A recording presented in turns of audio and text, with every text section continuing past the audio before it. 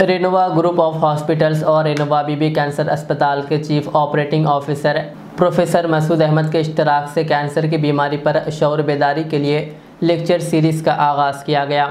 इस सीरीज़ का पहला lecture ICBM school of business excellence Attapur ring road पर मुनद किया गया। प्रोफेसर मसूद अहमद ने इस मौके पर ख़िताब करते हुए कैंसर से बचाव के तरीक़ों पर रोशनी डाली। इस प्रोग्राम में इस तलबा और दीगर अहम शख्सियात ने शिरकत की। बाद इस सिलसिले में प्रोफेसर मसूद अहमद ने मीडिया से बात करते हुए तफसलत बताई। वालेकुम नाजरीन, मैं professor Mohammed Masood Ahmed, hospital chief operating officer, Renova BB cancer hospital, Malakpet, Hyderabad. मैं आज यहाँ पर ICBM school of business excellence, Attapur, Hyderabad पर एक नया सोशल इवेंट स्टार्ट करे हैं, जिसका टाइटल है cancer awareness and prevention programme. एक हंड्रेड लेक्चर इवेंट है ये। ये हैदराबाद, हिंदुस्तान और हिंदुस्तान के बाहर हम लोग ये ओरिएंटेशन इवेंट है, जो सोसाइटी के लोग हैं स्टूडेंट्स हैं और प्रोफेशनल्स हैं और और ओल्ड एज के मिडिल एज के जो लोग हैं, उनके सामने एक अवेयरनेस लाना चाह रहे हैं हम लोग कैंसर के बारे में। कैंसर ये कौन सी बीमारी है और इसके काजेज़ क्या है और इसको किस तरीके से क्यूर किया जा सकता है? कैंसर का सबसे बड़ा मसला यही है कि हाल ही में जो इकोनॉमिक टाइम्स में रिपोर्ट आई थी डब्ल्यू एच ओ की तरफ़ से, उसमें यह कहा गया है कि 2030 तक दुनिया में जितनी आबादी है, तकरीबन 800 करोड़ की आबादी है 8 बिलियन पॉपुलेशन कहते हैं। तो ये इस्टीमेट किया गया 2030 तक, पाँच आदमी में से एक आदमी को उम्र में कभी भी कैंसर हो सकता है। तो ये बहुत बड़ी, क्या है, फ़िक्र की बात है। तो इसलिए हम रेनोवा ग्रुप ऑफ़ हॉस्पिटल और आईसीबीएम इंस्टीट्यूशन के तरफ़ से क्या है कि हम ये सोचे कि कुछ एक अवेयरनेस प्रोग्राम चलाना चाहिए यंग जनरेशन में कॉलेजेस में और दूसरे इंस्टीट्यूशन में। तो आज ये इनिशिएटिव लिया गया है जहाँ पर हम कैंसर के मस के बारे में पढ़ाए हैं। उसको कैसा डिटेक्ट करते हैं और कैसा अर्ली डिटेक्शन होना चाहिए और आखिरी स्टेज से पहले उसकी क्या है मालूम उसका ट्रीटमेंट वगैरह होना चाहिए। तो पहले तो कोशिश हमारी प्रिवेंटिव ऑनकोलॉजी प्रिवेंटिव कैंसर के बारे में है। कि पहले तो एहतियात ऐसी होना चाहिए कि हम, हमारे दोस्त, अहबाब वगैरह, सोसाइटी में जितने लोग हैं, वो कैंसर से सफ़र नहीं होना चाहिए।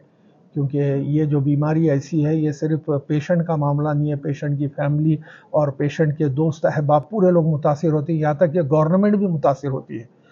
ये बीमारी की वजह से इसके जो अखराज वगैरह है, जो आम आदमी होता है, लो इनकम ग्रुप और मिडिल इनकम ग्रुप का, वो ये अफोर्ड नहीं कर सकता है। तो उसलिए ये कोशिश की जा रही है कि हम लोग ज़्यादा से ज़्यादा सोसाइटी में कैंसर के मस के ताल्लुक से और इसके क्या स्टेजेस होते हैं और इसका इसका जो ट्रीटमेंट के जो चैलेंजेस होते हैं और इससे जो फैमिली मुतासर होती है, सोसाइटी मुतासर होती है और क्या है मालूम और इसकी जो मुल्क की इकोनॉमी भी मुतासर होती है। तो उस वास्ते हमारी कोशिश की जा रही है कि कॉलेजेस और स्कूल्स वगैरह में हम ये कैंसर प्रिवेंशन के बारे में बात करें।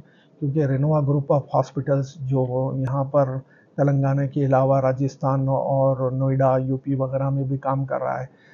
कई हमारे ऑन्कोलॉजी के हॉस्पिटल्स हैं, देखे हम कि जिस तरीके से मरीज़ आ रहे हैं लास्ट स्टेज में, यहाँ पर हमारे लिए भी चैलेंज है ट्रीटमेंट करना और इसके जो अखराज होते हैं गवर्नमेंट के ऊपर भी क्या है मालूम, बहुत बर्डन होता है और फैमिलीज़ के ऊपर भी बर्डन होता है। तो हम ये कोशिश कर रहे हैं कि क्या है मालूम, इससे प्रिवेंट किया जाए तो ये प्रोग्राम ये I C B M school of business excellence Attapur Hyderabad पे ऑर्गेनाइज़ किए। मेरे साथ डॉक्टर जरार है, जो चेयरमैन है इस इंस्टीट्यूशन के, और डॉक्टर नारायण रेड्डी है, जो यहाँ के डायरेक्टर है रिसर्च के। तो हमारी ये ये ये कोशिश है कि बच्चों को क्या है, इस तरीके के जो सोसाइटी के इश्यूज़ है, जो सोशल इश्यूज़ है, वो भी क्या है हम पढ़ाना चाहिए। क्योंकि मैनेजमेंट का ताल्लुक सिर्फ़ बिज़नेस से और पैसा कमाने से नहीं है। हमारे पास मैनेजमेंट में एक एक्टिविटी होती है जिसके कहते हैं C S R corporate social responsibility हर जो तजारती इदारा है, हर ऑर्गेनाइजेशन है और उसमें काम करने वालों की ये भी ज़िम्मेदारी है कि सोसाइटी के जो प्रॉब्लम्स है, वो उसे देखना चाहिए और उसको हल करने की कोशिश करना चाहिए। ये ये हम आज, हम कोशिश करें हैं कि ये जो काम है आज स्टार्ट हुआ है। ये हिंदुस्तान और हिंदुस्तान के बाहर ये बात पहुँचाए हम कैंसर के ताल्लुक से ये कोशिश है। और हैदराबाद में किस तरह के कैंसर के केसेस ज़्यादा देखे? देखिए कैंसर के केसेस हम बेसिकली जो डिवाइड करते हैं मेल और फीमेल में। अगर फीमेल में अगर आ रहे हैं तो हाल तक पिछले एक दो साल तक वो सर्विक कैंसर बहुत ज़्यादा था। सर्विक कैंसर का जो आम जबान में हैदराबादी ज़बान में बच्चेदानी का कैंसर कहते हैं समझो वो ज़्यादा था। तो मगर अभी इस साल ये देखा ये गया है कि ब्रेस्ट कैंसर छाती का जो कैंसर है, वो ज़्यादा है। तो आमतौर पे लोगों का सोचना ये रहता है कि जो छाती का कैंसर है ब्रेस्ट कैंसर वो यंग लोगों में होता है। ये ज़रूरी नहीं है। अब ये देखा ये जा रहा है कि 60 साल और उससे ऊपर की एज के लोगों में भी क्या है ब्रेस्ट कैंसर हो रहा है। तो फीमेल्स के अब जो हालात है, जो औरतों में जो कैंसर हो रहा है, पचहत्तर फ़ीसद कैंसर वो सर्विक कैंसर और ब्रेस्ट कैंसर है।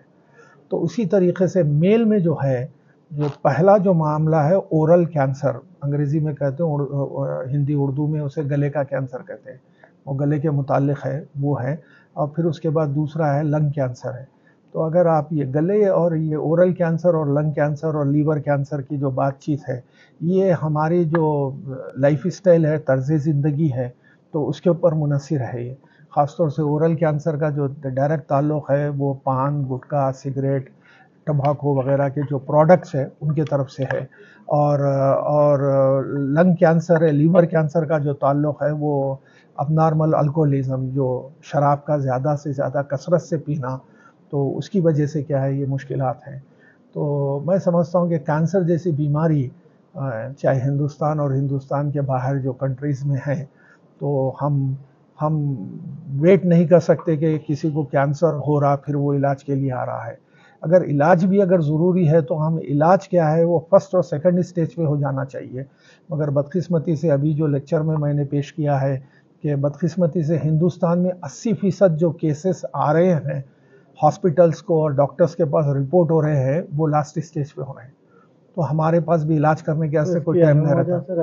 नहीं लोगों में क्या है अवेयरनेस नहीं है कि क्या है मालूम कि अरे भाई पेट में दर्द है तो एसिडिटी का प्रॉब्लम है गैस का प्रॉब्लम है, और गले का प्रॉब्लम है तो हो, गले में कुछ खराश है मेरे को तो ऐसा कुछ थ्रोट इन्फेक्शन है। तो इस तरीके की जो चीज़ें हैं तो पहले तो आप एहतियात करना चाहिए। पहले जो खाने पीने का जो मामला है, जो उर्दू में तर्ज ज़िंदगी कहते हैं लाइफ स्टाइल जिसे कहते हैं, वो क्या है, मालूम, ध्यान देना चाहिए। आप जो जो चीज़ें हम मुँह के ज़रिए खा रहे हैं